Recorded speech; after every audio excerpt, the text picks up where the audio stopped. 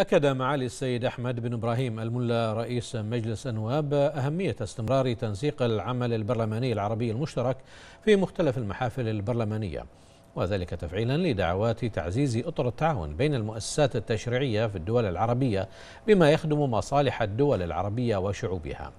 لافتا إلى أهمية تمثيل مملكة البحرين والسلطة التشريعية في هذه المحافل بصفتها أحد الأعضاء الفاعلين في العديد من الاتحادات البرلمانية على المستويين العربي والدولي إلى جانب إظهار وإبراز الإنجازات التي حققتها المملكة في جميع المجالات في ظل المشروع الإصلاحي لجلالة الملك المفدى حفظه الله.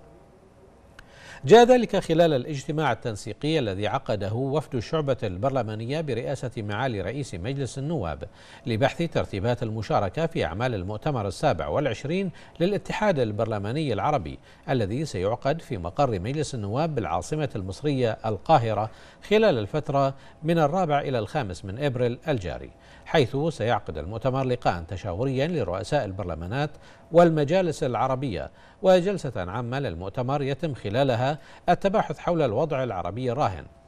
كما تعقد كل من اللجنة التنفيذية واللجنة القانونية اجتماعها قبيل المؤتمر والتي ستتضمن بحث عدة موضوعات تتعلق بمكافحة الإرهاب ودعم الأمن والاستقرار والمرأة والطفولة والصحة إلى جانب النشاط الدولي والإقليمي للاتحاد خلال العام الجاري.